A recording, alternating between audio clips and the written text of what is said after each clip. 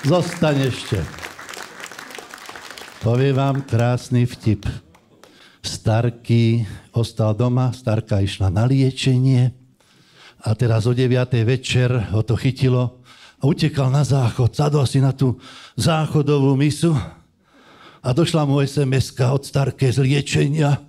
Milý môj drahý Starky, ak spíš, pošli mi tvoje sny.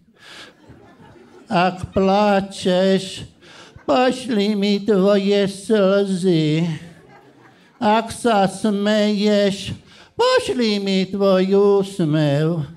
A Starky píše do mobilu, moja milá drahá Starka, práve teraz sedím na hajzlovej misi a tlačím do nej, no čo ti mám poslať?